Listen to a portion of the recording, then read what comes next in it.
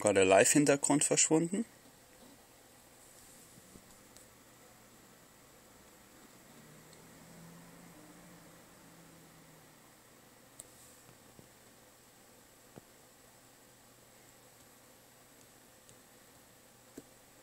Komplett aufgehangen.